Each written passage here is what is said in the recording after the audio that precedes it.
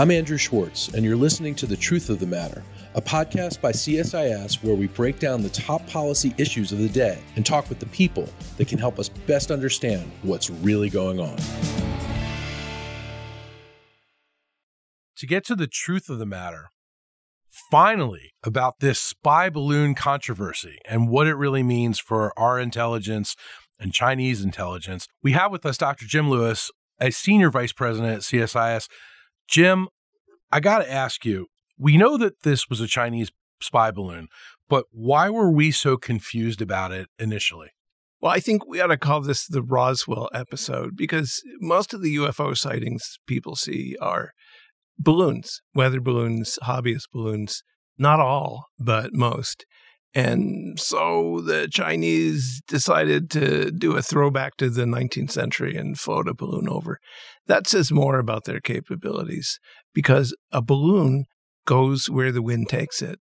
And it's not that good as a collection device. So if you're desperate, use a balloon. Otherwise, what it says about us is we've been asleep at the switch for a long time when it comes to Chinese espionage we're finally waking up. That's good. We started waking up in 2015. Then there was the interregnum. But we need to think of a more comprehensive response to what is a comprehensive Chinese intelligence campaign directed against the U.S. Balloons are only a tiny part. So, wait a minute. Why were we asleep at the wheel? And then why did we finally wake up in 2015?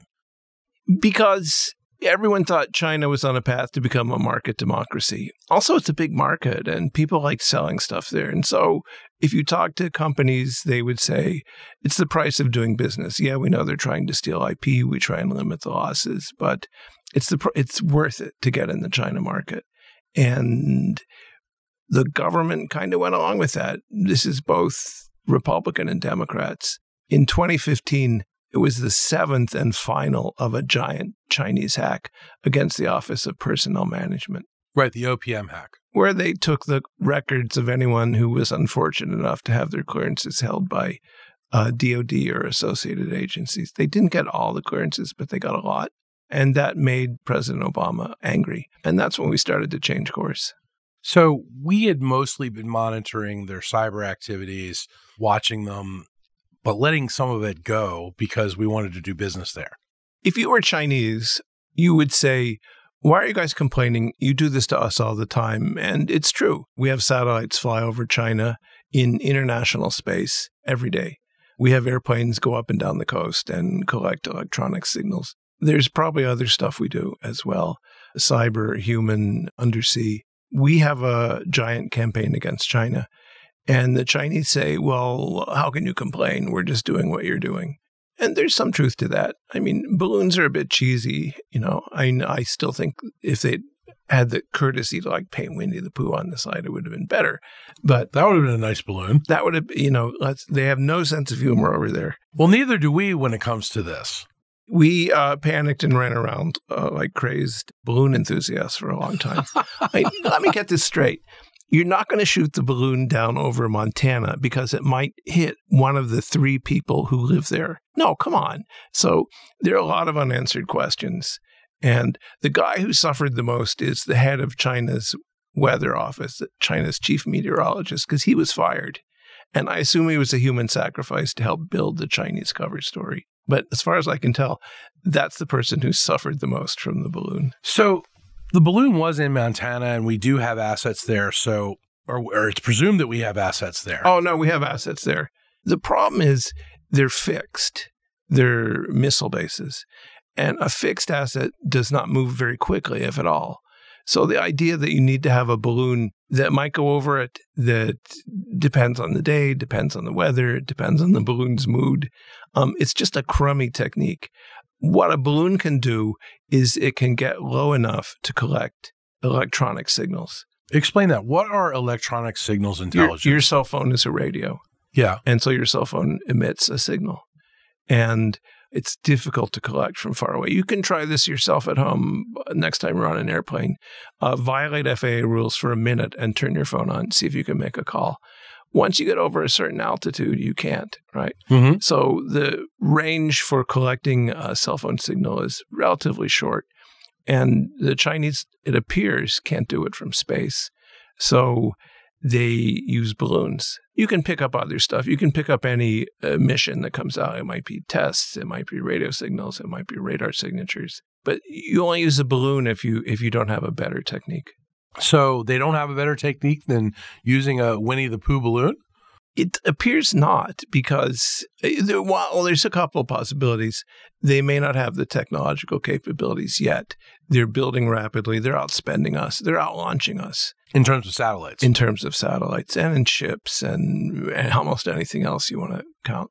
So it could be that they just don't have the capabilities yet. I mean, it's difficult. It's difficult to do this. We've been in the business for 70 years and it's still hard for us to do some things. They've been in the business eh, maybe 20, 25 years.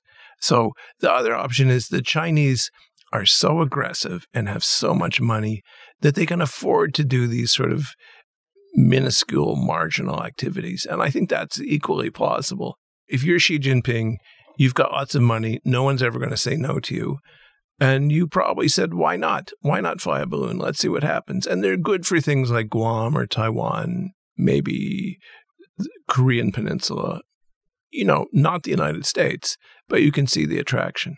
How is it possible that they weren't concerned that we would see a balloon with the payload the size of three buses over our airspace in the United States? So I'm doing research now on China's espionage culture, which is they have a self-justifying narrative. You know, the the century of humiliation. You were mean to us, and so now it's our turn. I keep telling them it was the British and the French. You can't blame us, but they don't want to hear that. They say you do it too, so why can't we? Ah, fair point. We've told them in semi-official dialogues that we get every country, every big country spies. And so we get that you spy on us, we spy on you. But what we don't do is steal technology, and we'd like you to stop.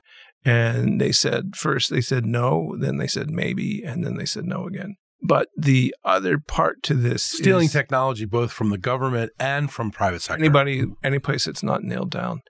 The other part of this, though, is that they are uh, very aggressive, very well resourced, and relatively successful. So for China, spying on other countries, they don't feel like they're bound by Western law. They feel like it's a construct for the imperialists to re- maintain domination. So, you know what? Um, the norm says don't get caught. They don't really care. The norm says keep it at a level that doesn't bother people. They don't really care. They don't think our rules apply. And so that's part of why this has become so difficult. Well, you know, it's been reported that they've used these types of balloons over the last several years in over 40 countries, not just the United States. But why wouldn't they draw a red line in the United States? Because we're their most important target. We're the ones they care about the most. I'm not sure what 40 countries they actually care about, right? So you can think of maybe ASEAN countries, maybe Northeast Asia. Uh, where else do you really care? The United States, Australia, maybe some of the Pacific Islands.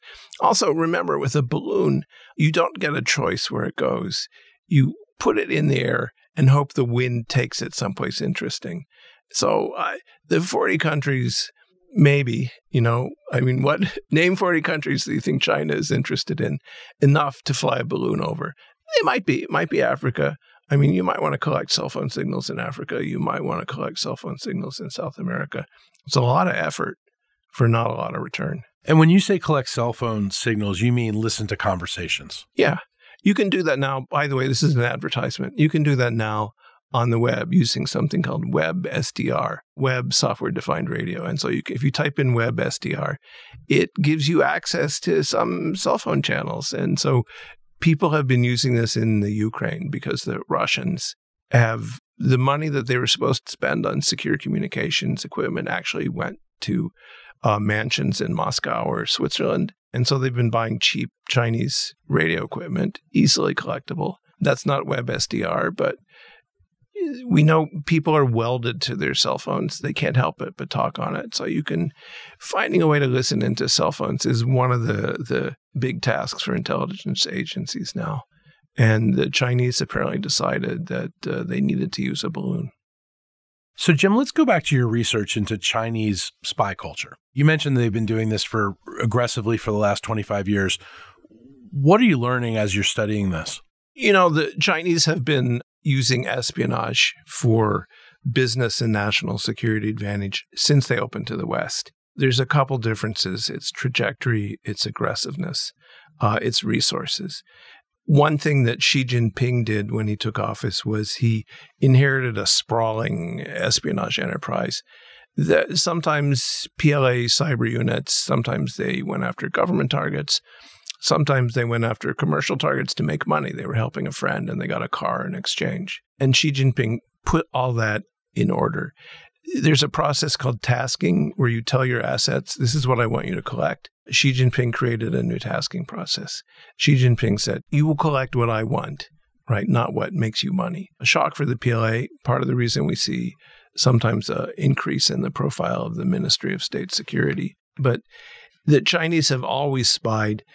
Their foreign policy changed. So you could reasonably believe before 2012 that there was a chance that China would become a member of the international community, follow international norms and rules. They say they do, by the way. So, if there are any Chinese listening, I apologize for casting asparagus on your uh, your assertions. But that hope that they would become more like any other country was quashed with Xi Jinping's arrival who decided for a variety of reasons, and of course Jude Blanchette here knows them very well, variety of reasons that China's time had come. That was time for China to move back to the center of the world stage. And they've become increasingly aggressive as a result. They even have they even have police stations in other countries. That's amazing. Nobody else does that, right? They have kidnap teams in the US, at least one that we know because we got them what the Chinese would say is, "Hey, this is just like rendition. You guys did rendition. Now we're doing our own. This is rendition and with Chinese characteristics." How do they have police stations in other countries? What what countries? The Netherlands is a good example. There are a couple others, but a police agency opens an office in the the country, and they used to have signs. They've taken them down because it's embarrassing. It says like uh, Fujian regional police agency.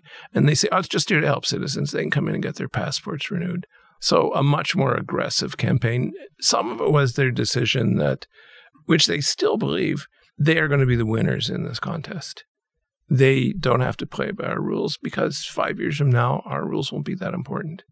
So, that's the shift is defeat of the internationalist in China, arrival of Xi Jinping, and the decision that China's time had come. And so, if you believe all that, why not spy? What's going to happen? And it's a fair point. They really haven't been penalized. Balloons are nothing compared to other stuff they've done, and they've never been penalized. So, they're really flexing their muscles now.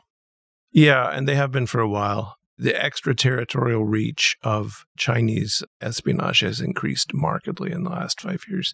Again, they'll point to things like what we did in the war on terror, They'll point to Snowden. They have a self justifying narrative. The difference is, you know, nobody flees to China, right? And so it's espionage tools that maybe we developed, but in service of a dictatorship. And they're also surveilling their own people.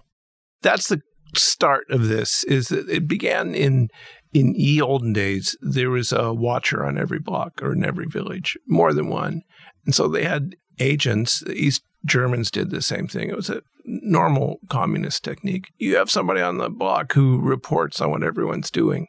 It's so much easier to collect their internet traffic, their cell phone traffic, their phone communications. And the Chinese created, starting 20 years ago, immense national surveillance systems. That's one reason why I believe the Chinese are so aggressive in uh, espionage is that their own national practice is mass surveillance of everyone they can lay their hands on. Why wouldn't they do it other places as the capabilities become available? Are they teaching other countries how to do this?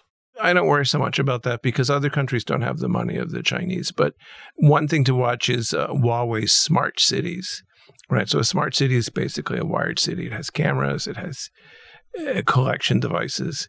The alleged goal is to manage the city better. It is management in a way because you are seeing what people are doing. The downside for these countries, and I assume they know it, is you're collecting on your own citizens. That's probably bad and you should stop. But the Chinese are collecting on, on them as well. And so you are allowing them to install the surveillance infrastructure in Hungary, for example, that informs both the Hungarian government and the Chinese government. Probably a bad idea. So, what keeps them from installing surveillance here in the United States? Well, they've had trouble. And, you know, we were uh, mean to Huawei a few years ago, deservedly so. We've started getting people to uninstall Chinese equipment. Like, China's the leading manufacturer of uh, the video cameras you see in stores or at uh, the hilarious one I thought for me was PX's, right? So you've got you have Chinese video cameras connected to the internet in and, military stores. Yeah, uh, and and everywhere else too, and also in the UK. And so China has.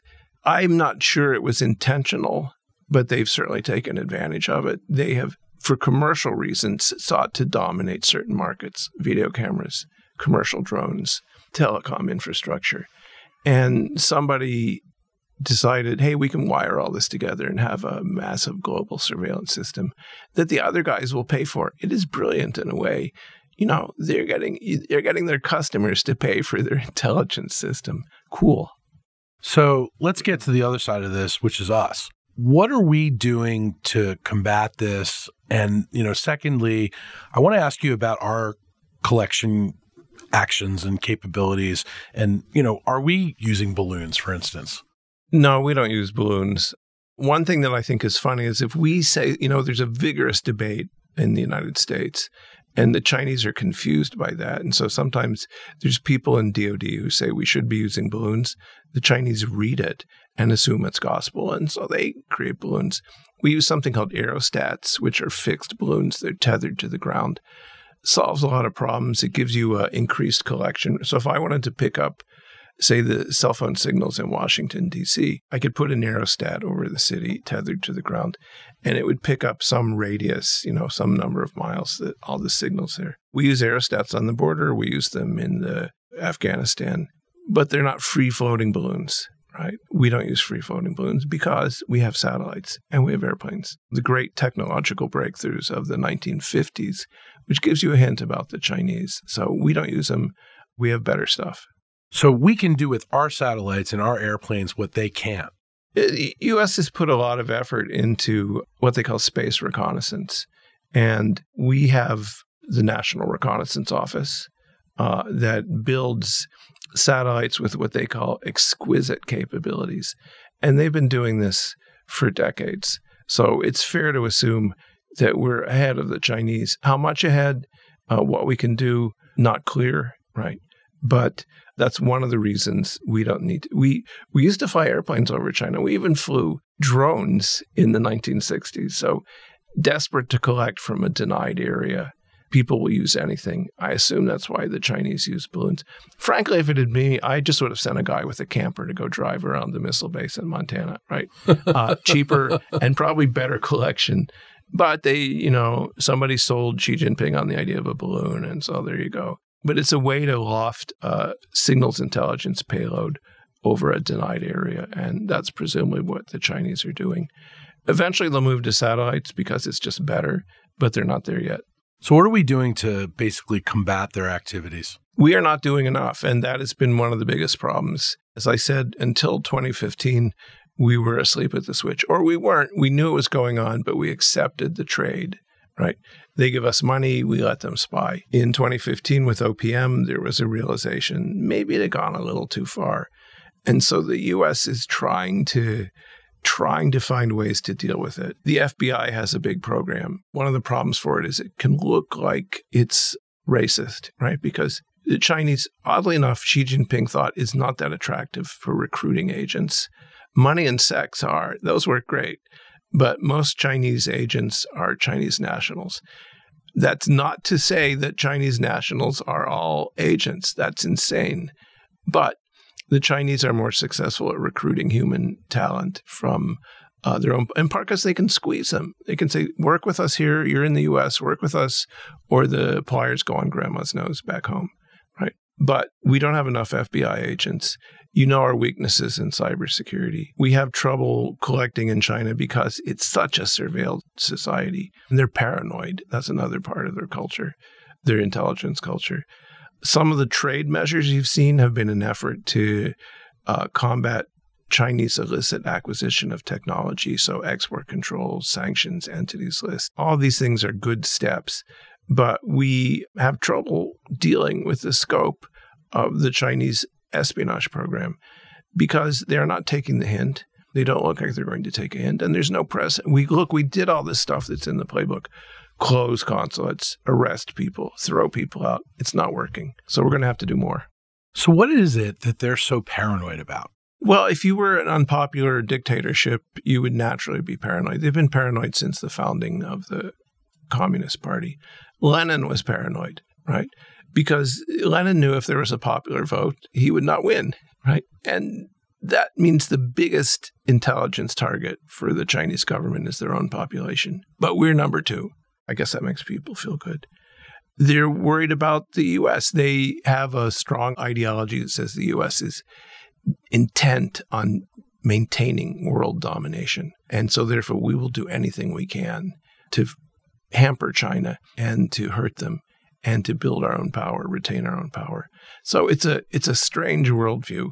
And remember, I'm not talking about all Chinese. I'm talking about Chinese in the intelligence community that was one of the big shocks for me when I used to talk to these people is I thought, oh, these guys, they get to read the Times, they get to read, you know, the Western press. Some of them lived in New York where they operated out of the UN.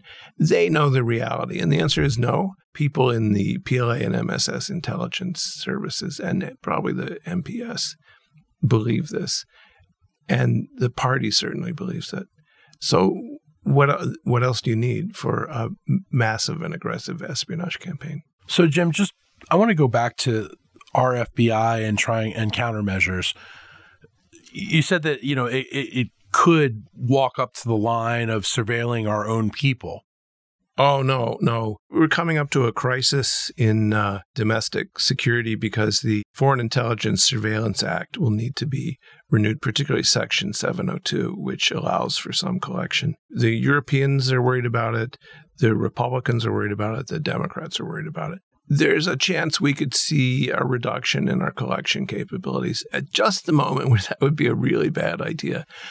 There could be solutions. And so lawyers are standing on top of lawyers to come up with guidelines and rule books and principles, and maybe it'll work, but we would not spy on our own people. The FBI under Bill Barr and you might remember we had Bill Barr here to not launch the kickoff of their China initiative, very keenly attuned to not making it seem like it was anti Chinese.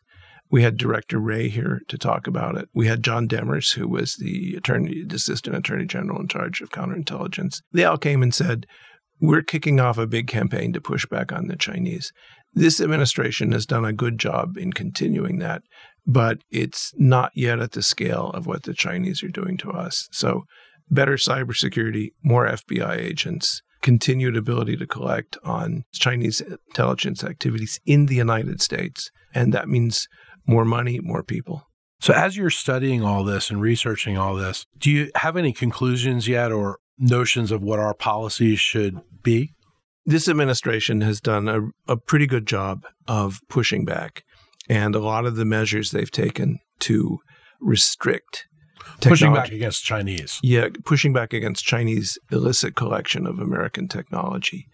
They've done a good job. A lot of their trade measures, export controls, other sanctions have really hurt the Chinese ability to collect using those means. They have not hurt the Chinese other collection programs, and that's what we need to focus on. It's harder because it's Chinese agents, Chinese hacking, and it's probably China in space, including the occasional random balloon. Jim Lewis, thank you very much for helping us understand some of these issues a lot better. If you enjoyed this podcast, check out our larger suite of CSIS podcasts from Into Africa, The Asia Chessboard, China Power, AIDS 2020, The Trade Guys, Smart Women, Smart Power, and more. You can listen to them all on major streaming platforms like iTunes and Spotify. Visit csis.org slash podcasts to see our full catalog